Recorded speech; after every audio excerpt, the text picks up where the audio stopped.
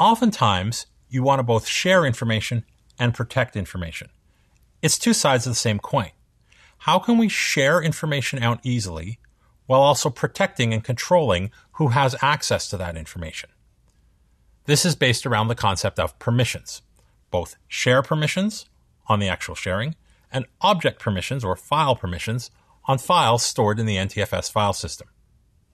Let's take a look at sharing and protecting files using permissions. So I'm going to go here to the C drive and I'm going to create a new folder and I'm going to call it project files. Now, I have an empty folder. I'm going to look at the properties of this folder, and on this, there's a couple of tabs that are of interest to me. There's sharing and there's security. So in the sharing tab, my project files are not shared. I can just click this button that says share, and this gives me a simple view to do basic sharing. Click the arrow to find people. I can say I want to share it with everyone, or I want to share it only with specific people. I could go out and look at who those are. Uh, I can go into advanced and I can just say find. There's my entire list of all the users in this domain. So I'm going to do some stuff with Alex. Alex and I are working on this project. So I'm going to type Alex's name in this box. I say check the name. Okay. And he has read permissions by default. And I can also add Alan. Oh, I have to find. Use Alan. And I'm going to say that Alan has permission to read and write. Now, these are share permissions. These would affect people who are out there on the network.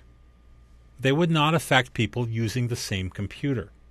So, to keep it simpler, we'll often say that we're just going to share the folder with everyone across the network and give everyone the read write ability. Now, that works, and there's nothing wrong with that, except that may be more than I want. Because I also have this security tab. And the security tells me who has the rights or permissions to the objects themselves. So it's important to understand when to use share permissions and when to use object or NTFS permissions. NTFS permissions can be used to restrict access to other users when they're logged on to the same computer. Share permissions are only going to affect users coming in from the network. So, so that I only have to manage the permissions in one place, I'm going to leave the share permissions set for everyone.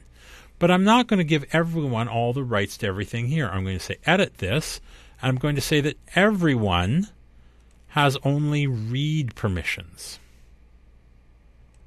No write permissions. I'm going to leave the system with full permissions. Penny, that's myself in this organization, with read permissions, and administrators with all the permissions. Now I'm going to add Alan and Alex. And I'm going to say that Alan has permission to do everything, and Alex has only permissions to read, no write.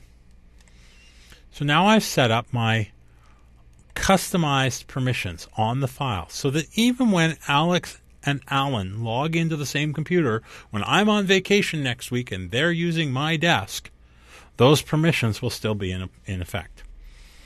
Now all I need to do is close this and move the files that I want into the right place. So We've got a document that we're working on on application whitelisting. I'm going to put that in there.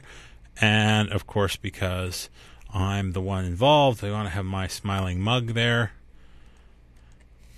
Now we can actually set permissions right down on the individual file.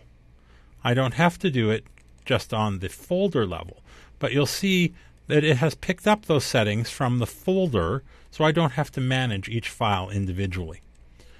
Now, whether they connect through the share or locally, those NTFS permissions are in effect. I'd use share permissions if I had a folder on a drive that was formatted without NTFS, or if I wasn't concerned with someone else using the local computer and was only concerned about network access. So, To protect files locally, I use NTFS permissions. If I only want to deal with the network, I can use network share permissions. But understanding where to set permissions on files is a great way to help keep your confidential data confidential while allowing it to be shared with the people you want to have access to it.